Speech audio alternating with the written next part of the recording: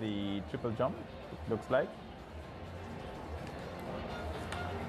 Are they still going through their warm-ups?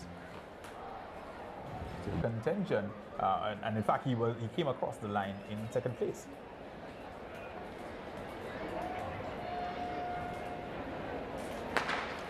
They're off and running. 200 meter dash under 18.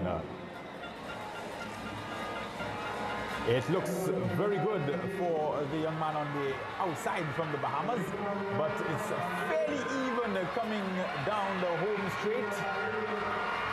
On the outside, Michael Stevens looks as though he's going to hold on to take it. Michael Stevens followed home by Tyrell Edwards, and Stevens running from lane 8, 21.40. Never easy to come out of lane 8 and uh, make a name for yourself.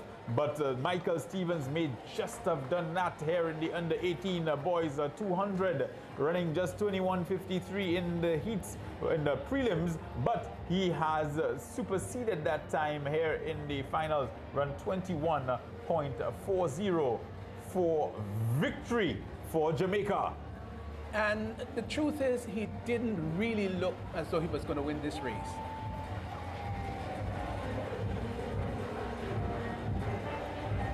Always difficult to, to get a true sense of where athletes are in the 200, um, coming around that bend, that velocity, and then uh, they coming into the home straight. That's when you start to understand who's really, really into the race. Um, but uh, certainly uh, the young man from Jamaica, Michael Stevens, winning it. Tyrell Edwards coming in second. Didn't quite catch who came in third, but we're hoping to get that as well as confirmation. In fact, it's Barbados with the third place. Michael Clark, he always figured to be in